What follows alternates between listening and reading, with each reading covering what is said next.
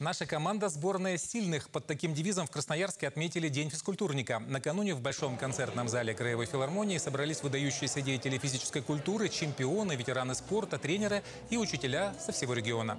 Для виновников торжества организовали концерт и развлекательные площадки. Поздравил физкультурников и временно исполняющий обязанности губернатора Александр Ус. Он вручил федеральные и краевые награды и отметил, наш регион входит в семерку лучших в стране именно по спортивным достижениям.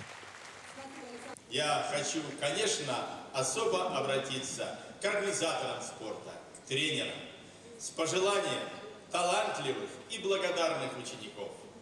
Хочу пожелать спортсменам всех уровней достижения самых высоких результатов, которые есть у них в затаенных мечтах и желаниях.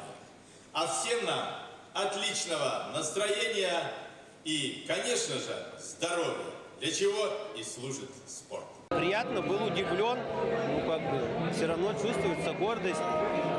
Дети, дети, которые меня знают, я им сказал, что поеду на, на праздник, на награждение, то есть пользуясь случаем передаю всем привет. Они всегда говорят, мы молодцы, Олег Викторович, все у нас будет получаться.